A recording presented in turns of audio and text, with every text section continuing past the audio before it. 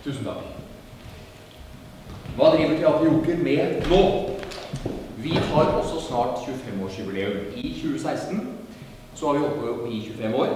Eh, vi har underholdt mange barn. Eh, vi jobber jo hovedsakelig med vår form, tegneseriemime, men også med figurteater i større og større grad. Vi har syv forestillinger for øyeblikket. Tutomaten og Rebusløpet, som er figurteater. Funicoli og Funicola, en operafabel som jeg skal presentere senere. Eh, Baron von Munchhausen går fremdeles. 1814 går fremdeles. Per på en pall. Tre små brannmenn. Vi vurderer å gjenopplive vår figurteaterforestilling 'Lillefolket'. Og så kommer da Brune. Dette er basert på boken til eh, Håkon Øverås, som fikk Nordisk råds litteraturpris i 2014. Vi var så heldige å få eksklusive rettigheter til denne, eh, som gjelder dramatisering for scene. Og vi har da gått i koproduksjon med Akershus Teater, og premieren er ikke 3. mars 2016, det er premiere 4. mars 2016 i Asker. Rune er Rune på dagen, men han blir plaget av guttene i den lille småbyen hvor han bor. Men om natten så blir han Brune, en superhelt som ikke er redd for noen ting. Og han tar hevn på sin egen måte med maling. For da er det ikke hans egen feil at han maler syklene, for det var jo ikke han som gjorde det. Eh, Rune og foreldrene har flyttet til småbyen hvor moren kommer fra fordi bestefaren er syk. Og bestefaren dør rett etter at de flytter dit. Men Rune treffer bestefar på natten, og han vil ikke at bestefar skal bli borte. Og bestefar han vet det. Han sier derfor lever jeg også i den gamle klokka. Hver gang den tikker, så er det hjertet mitt som slår. Han har bare én venn, Rune, som heter Atle.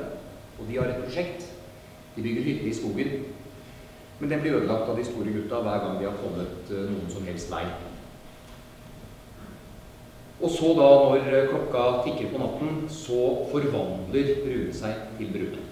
Etter hvert får han også selskap av en superhelt som heter Svartle. Og de, får en, de har en venninne som heter Åse. Etter hvert får de også selskap av Blåse. Og disse tre de uh, tar hevn, rett og slett. For dette stykket handler om å ta hevn om å savne noen, og om å overleve i en relativt kaotisk verden. Vi er eh, klar for, høst, for turné til høsten 2016. På våren skal vi turnere i Akershus i en produksjon. Vi er fem utøvere. Uh, vi har selv. Lite teknisk krevende. Uh, den kan selvfølgelig spilles i en gymsal. Vi tenker oss uh, DKS. Familieforestilling spørsmålstegn står det her, men det, er det, det blir det absolutt. Det blir en familieforestilling. Nils Peter Rundland, vår kunstneriske leder, har regi. Vi har med Jon Arne Arnseth og Knut Erik Engevold, som jeg aldri har brukt før. De er, det er flott. Steinar Gundersen, Håkon Strøm og Kari Ramnefjell, de er gamle travere. Gjermund Andresen har scenografi. Og så er det våre komponister, Gjermund Simonsen og Raymond Enoksen. Eh, og Guri Glans er produsent, sammen med Sandra Sandli. Så er det operaprosjektet. Vi ble kontaktet av Den Norske Opera, som ville gjøre opera mer tilgjengelig for barn ved å sette sammen en slags Mamma Mia-forestilling av ti kjente operasanger som man satte sammen til en fabel. Trond Lindheim var med og skulle lage arrangementer, og vi laget en fabel sammen med Gudrun Lette på operaen. Vi valgte ut fire Oslo-skoler. Mortensrud, Sagene, Marienlyst og Bogstad. Så dette ble også en geografisk ganske interessant reise. Eh, vi, vi, jobbet med hele femtetrinnet.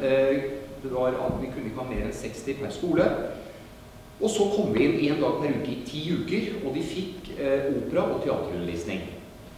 Og så etter disse ti ukene kom vi inn og tok over trinnet i tre fulle uker. Profesjonelle operasangere fra operaen kom og var med. Skuespillere fra Teater Joker var med. Eh, det kom musikere fra operaen som et orkester, og de hadde med teknisk stav. Og så avsluttet de dette med å spille for hele skolen, foreldre, kamerater osv. Alle barna var med på dette. Så avsluttet vi alt ved å velge ut 15 eh, elever fra hver skole eh, som fikk gjøre forestillingen på operaen.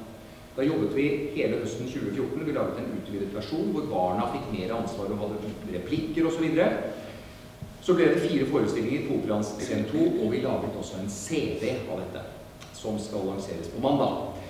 Eh, og så ble vi da nominert og vant International Opera Award 2015 for Accessibility eh, i Accessibility-kategorien. Og dette er jo som å vinne Oscar eh, i operaverden. Nå skal dette gjøres på mange skoler. Manglerud er eh, neste. Og vi ønsker å komme ut i hele landet. Dette skal bli altså da Operaen vil gjøre det i hele Norge. Så uh, skal jeg presentere uh, siste prosjektet. Det er at vi har begynt å samarbeide med Kina. Det er Du Theater Workshop. Det er ikke det letteste landet å samarbeide med, men det er, det er, viktig å være der. Dette begynte med at Nils Petter Underland underviste på universitetet i Nanjing. Han hadde workshop i Bami med, vår signaturform, hvor du skaper alt med din egen kropp. Og disse studentene han jobbet med, elsket dette. En av dem gikk videre og laget et eget kompani og inviterte til et samarbeid med oss. Eh, Kari Randefjell var der eh, i vår og hadde en workshop eh, for profesjonelle og amatører. Og det de vil, er at de vil bruke tegneseriemime.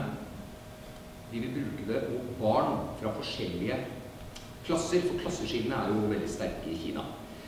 Så de ønsker å få fattige barn til å samarbeide med rike barn, fordi når man samarbeider i mange menn, så må man samarbeide eh, uansett. Skal du få til noe, så må man ta på hverandre, lage en bro osv.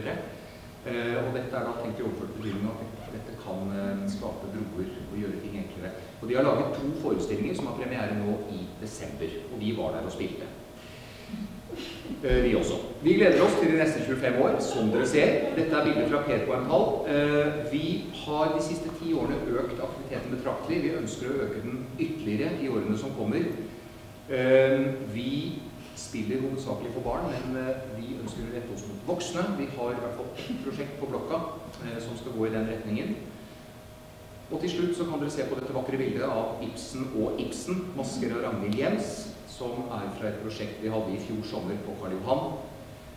Eh, hvor vi rett og slett var to Ibsen-figurer som vandret opp og ned på gaten. Takk for meg.